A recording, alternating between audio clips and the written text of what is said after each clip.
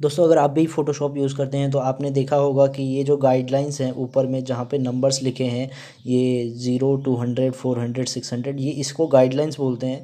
कई बार हम काम करते हुए ये गाइडलाइंस हमारे गायब हो जाते हैं तो इससे हमें क्या होता है कि एडजस्टमेंट करने में प्रॉब्लम होती है। तो आज हम, मैं बताने वाला हूँ आपको कि ये गाइडलाइंस अगर गायब हो जाती हैं तो इसको कैसे वापस लाया जाता है। अब देखिए, ये गाइडलाइंस जो हैं अब जैसे कि यहाँ से अभी पहले मैं इसको गायब करके दिखाता हूँ, फिर वापस से ला के दिखाऊँगा आपको। सपोज़ फ्रेंड्स जैसे ये गाइडलाइंस जो हैं अब गायब हो चुकी हैं तो अगर ये ऐसी कंडीशन में होता है कि जब गाइडलाइंस ना हो हमारे पास तो हम इसे कैसे कंप्लीट करेंगे?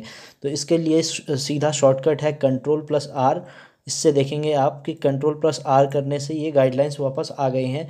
या एक और सोल्यूशन है, ये व्यूज़ में जाके रूलर्स पे क्लिक कर देते हैं। जैसे मान लीजिए